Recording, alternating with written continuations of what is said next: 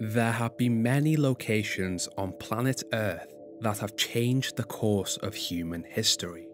During the Combine reign of Earth, one location became not only the home and stronghold of the remaining resistance members, but also the place where humanity would have the opportunity to strike back at the Combine Empire and forge a new path for the species. Where was this place located? How much of an impact did it have on the future of humanity? And how did its residents stay hidden from the Combine for so long? Here we explore in the lore and story behind the White Forest Resistance Base. Way back during the early years of the Cold War, many bases were constructed to house the soldiers of the United States and the Soviet Union, each side playing their part in this conflict. With this war spanning over many, many miles, some of these bases were constructed in isolated, unique locations with each one built to have a tactical advantage over any invaders. With a continued need for bases, one began construction in a region now known as the White Forest. Although it is currently unknown which Eastern European country the White Forest resides within, in the future, this entire alpine region would become known as a part of the Outlands. Following completion of construction, this Cold War base, nestled within the nature of White Forest, appeared to be relatively small. From a distance, the base showed off its signifying feature, a large radio tower shooting far out into the sky. Upon further inspection, the base appears to have been designed and separated into three sections above ground, underground, and the valley, the smallest section of this base being the above ground area, which was designed to consist of a main building with plenty of space to work and store essential items, various small rooms to house complex systems to be used in the war, a hangar, and a helicopter pad to house vehicles for transportation, and a missile control room to activate and fire off rockets located in the underground region of the base. From the main building, the soldiers stationed here could navigate the facility with ease and access a large plot of land nicknamed the Valley through a north and south gate. Moving underground through the claustrophobic tunnels, unseen from above, the personnel here would work on the rockets contained within two massive silos, labelled Silo 1 and Silo 2, each one containing their own missile. The exit for Silo 1 showing just outside of the window of the missile control room above. In the event a missile launch were to be unsuccessful, Nearby emergency bunkers were also constructed in convenient locations to shield the soldiers of any damage that would come from a catastrophic event. As the years passed and the Cold War died down, the base, just like many others that had been constructed during the war, was abandoned, seemingly having fulfilled its purpose. Over the years, the base and its surrounding land were left untouched by the locals of White Forest. But with this base having been constructed in such a remote location and with ample space inside, it would find use again. Over in the United States of America, within the New Mexico desert, the top secret Black Mesa Research Facility had become a leading force in the scientific field where their development of technologies had broken many boundaries. With this line of work and required secrecy, all of their research and testing was performed within this sole location in the desert. With limited space and budgetary concerns, the Black Mesa leaders decided to search for an additional location to expand their work. In their search, Black Mesa came across the abandoned Cold War base in White Forest. With the structure being located in such an isolated region, and with the space it had to house their projects, the company believed this would be the perfect place to set up their new research facility in the isolated mountain ranges. With this, they managed to purchase the old Cold War base at a low price. During their purchase, it may not have occurred to them, but the name White Forest happened to be the exact opposite of Black Mesa. For many years, this place became home to various experiments. That was, until a catastrophic event in the early 2000s in the Black Mesa Research Complex changed everything. Following experimentation with interdimensional travel to a border world called Xen. the scientists of the complex inadvertently started a resonance cascade after blasting a recently acquired Xenian crystal sample with a beam of energy. Over the following hours, Earth connected to the border world, which led to a devastating aftermath. Portal storms would later ravage the planet, bringing in hostile alien life forms, now hoping to make Earth their new home. Not only was this a major strain on Earth's armies, but this event also alerted the Combine, a dominating, multi universal empire of planet Earth's existence and location. And with this, they attacked. In the subsequent days, the Combine successfully invaded Earth, where they conquered all of humanity's armies in just seven hours. Unable to win this war, Earth bowed down to their new leaders, and an age of submission began. Hello, just jumping in quickly here to let you know that this video is sponsored by The Ridge. As some of my long-time viewers may know, I have already worked with The Ridge. Because I like their wallet so much, I happily accepted to work with them again when they asked. With over 40,000 5-star reviews, 30 colours and styles to choose from, and RFID blocking technology to protect you from digital pickpocketers, you can feel safe when going out with your wallet. The Ridge is so confident you'll like their wallet that they'll even let you test drive it for 45 days. That means that in the small chance you don't like it, they'll let you send it back to get a full refund. For my wallet, I chose the burnt titanium design and I don't think I could go back to my old bulky wallet now. I just love the design and the lightweight feel. To get yours, visit ridge.com forward slash Skyrionn and use the code Skyrionn to get 15% off at the checkout. Thank you to the Ridge for sponsoring this video. Now, on with the lore. As the new normal began, the Combine Empire took Earth's natural resources as they moved humanity into Combine controlled settlements to monitor and regulate their newly acquired species. But not every member of humanity submitted so easily to their reign. Having survived the Black Mesa incident and the subsequent destruction of the facility, over time, Scientists from the facility were also hurdled into these combine controlled settlements, three of which being Dr. Isaac Kleiner, Dr. Eli Vance, and Dr. Arne Magnusson. Relocated to Eastern Europe, they found themselves in City 17. With revolution in mind, these scientists formed a resistance, but a revolution would need safe havens out of reach from the Combine to plan, recruit, and most importantly, research methods to take down their overlords. To this, Dr. Eli Vance managed to escape to the outskirts of the city, where he created a secret base, Black Mesa East, in its canals. This base would allow him to focus on research as well as house the refugees escaping the grasp of the Combine in the city.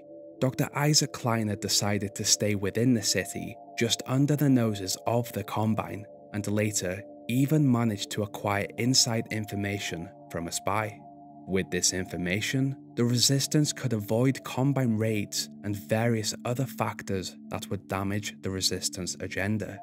Finally, Dr. Arne Magnusson decided to set up his base in an entirely different location. Few knew of the location that had been purchased by Black Mesa back in the day, and luckily, this location happened to be within travelling distance of City 17, the Cold War base. With a goal in mind, Arne, with a group of resistance members, travelled outwards towards the Outlands, seeking the White Forest. Upon arrival, the resistance group discovered this large, empty, open space free from Combine occupation. With Dr. Arne Magnusson taking on the role of leader of this base, he and his Vortigaunt assistant, Uriah, put preparations in place to get this place up and running so that it could become a functional resistance stronghold, and with it, the White Forest Resistance Base was formed. Over its years of inactivity following the Combine invasion, the base had degraded over time, some damage repairable, while others not so much.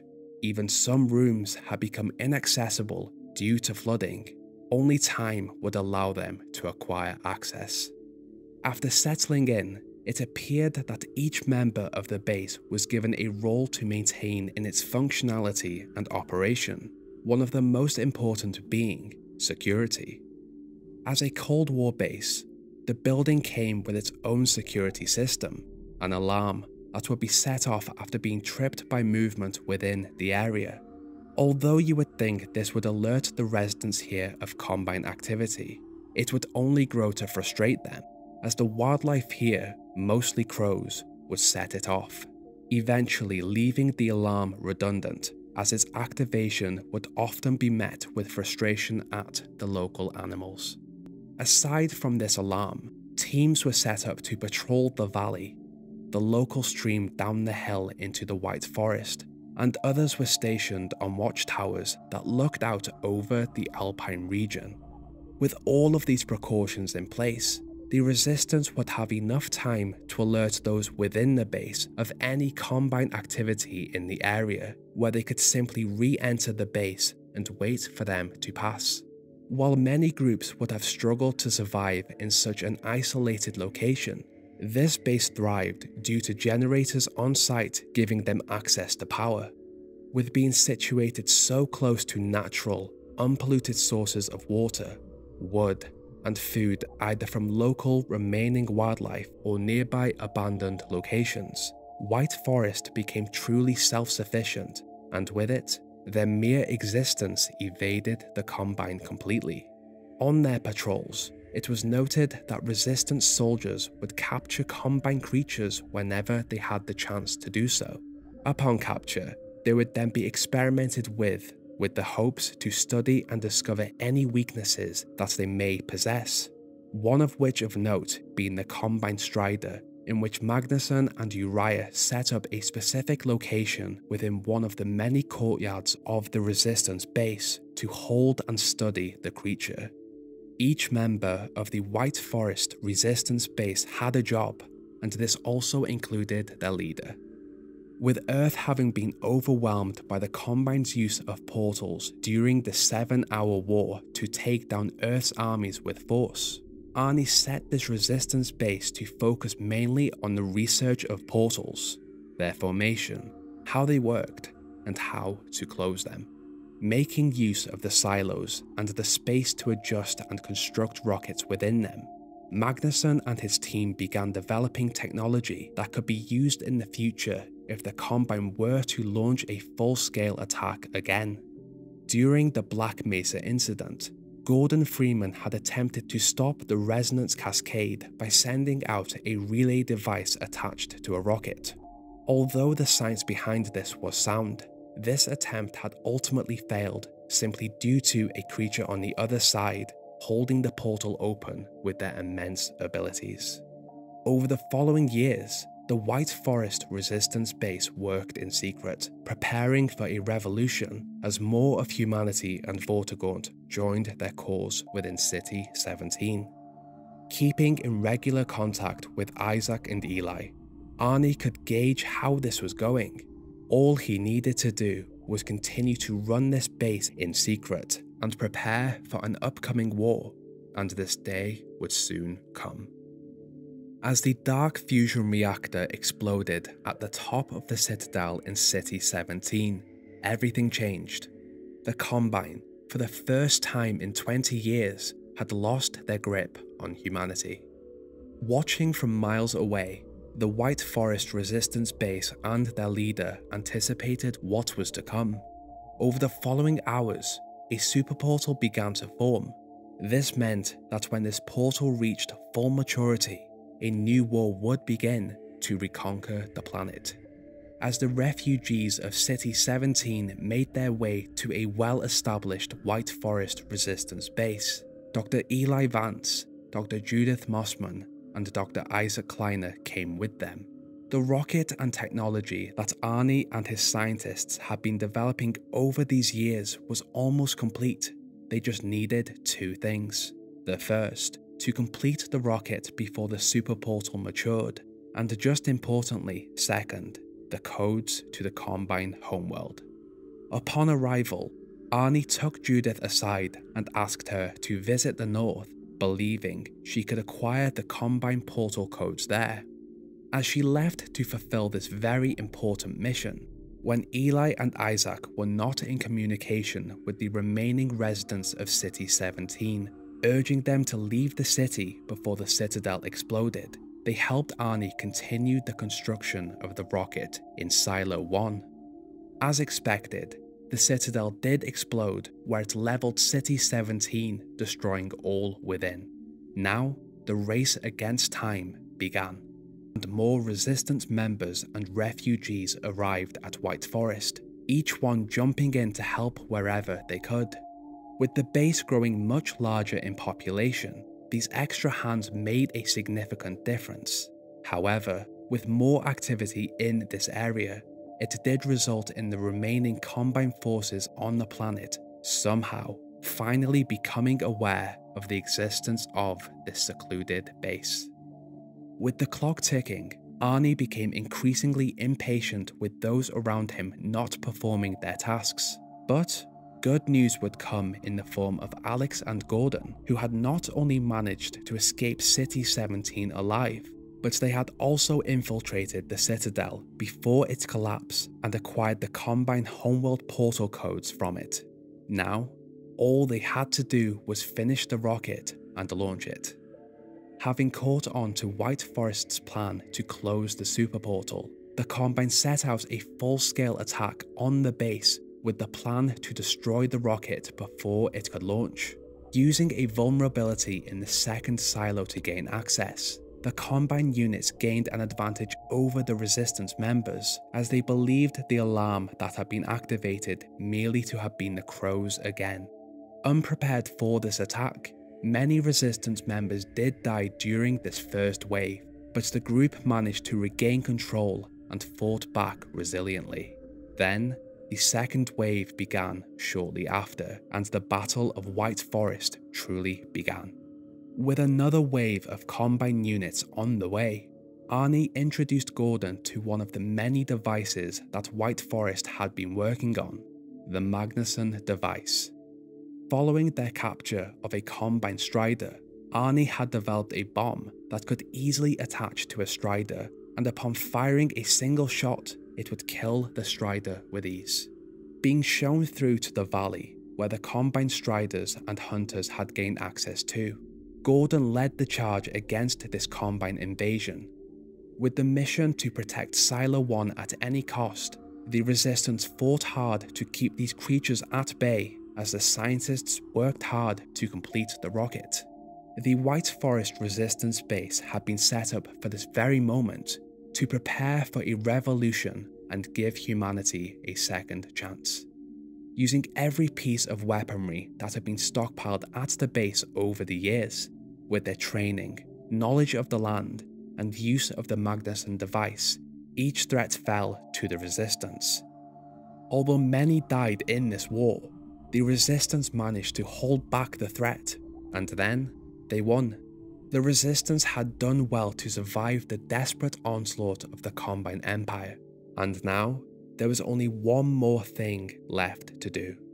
Within the rocket's control room, the launch sequence began and as the leaders of the resistance against the Combine watched as the timer went down, they waited in anticipation as this rocket launched, a symbol of hope that had been developed in secret throughout these years, where it hit the forming super portal.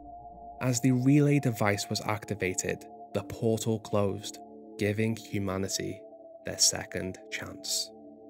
The hidden existence of the White Forest Resistance Base allowed the refugees of City 17 to have a place to go after its fall.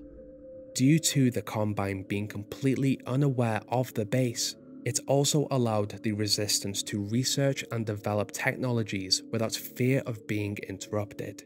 With many years to arm up, store food, and train the best soldiers they could, White Forest were well prepared to take on the Battle of White Forest when the time came, allowing humanity a new chance of freedom.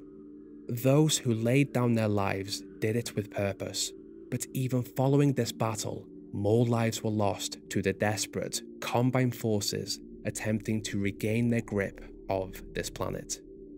It is unknown what became of White Forest after the death of Dr. Eli Vance in its hangar, or in the adjusted timeline, what events occurred after the disappearance of Alyx Vance.